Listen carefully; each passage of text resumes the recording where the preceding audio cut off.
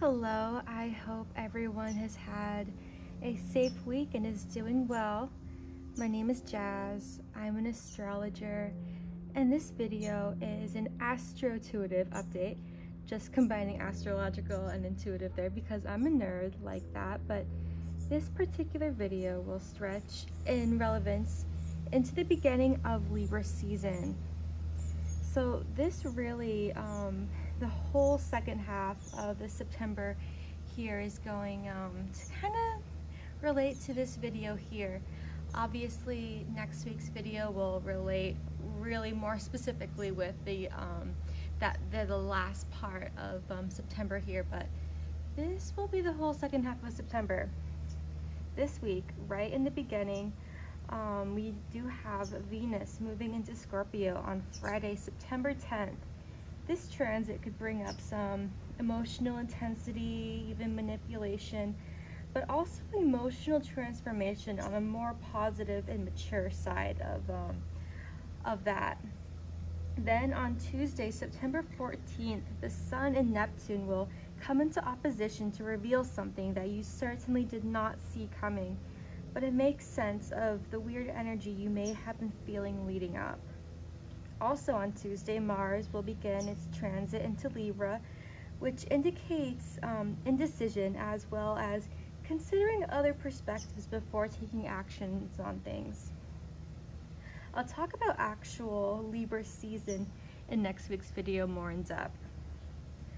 A lot of things, both personally and collectively, are going to feel up in the air to say the least.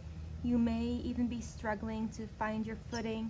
Metaphorically, maybe you're holding your breath and swimming underwater until things clear up. Don't show your cards. If possible, don't even play the game this week. The territory is different and you may not know it. I'm not trying to frighten anyone. I'm just saying that use caution and only do what feels right your gut will know. A lot of people will have just seen something that scared the crap out of them, like a monster from a nightmare crawling around real life. It will have been different for everyone, but for most people, it disappears just as quickly as it appeared. For others, Virgo season came in with a traumatic experience and will leave us with healing to be had. Whatever you saw, like a clue to a riddle that life is daring you to solve. Or maybe it's the entrance to a mysterious, more arduous challenge that you need to pass to get to the next level.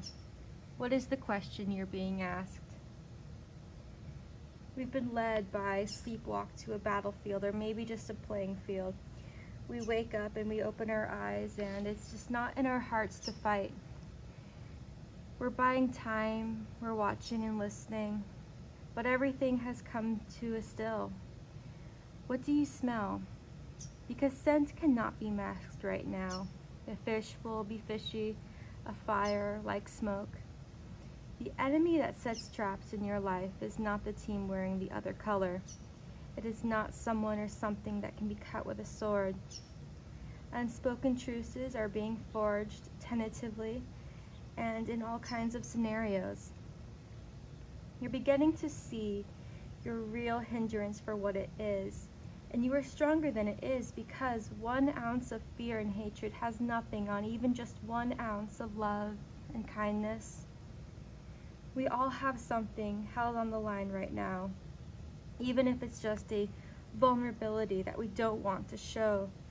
Sometimes you still get stung through your clothes even when your heart was under your sleeve the whole time. The sky may be overcast and the water may be murky, murky, mercury. Anxieties may be high as we wait out the silence. But it won't be forever. You'll prevail.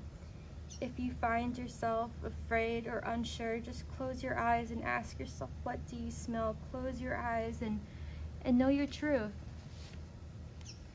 What are you destined to do about it? Free will and fate work together and are ultimately parallel. So I ask you, What burns fiercely in your soul, begging to be shared with the world that needs it just as much as you need to release it? Water it and grow it. It's already been planted. Stay agile, able to think fast. Negativity has is no longer welcome, but it's going to try, disguise, despise how far you've come. It won't be evicted without a fight. Well, we're here, and we are more ready than we know. While it's scrambling to recover since the exposure of its only card that it really ever had on you, you've been thinking. You've gotten rest.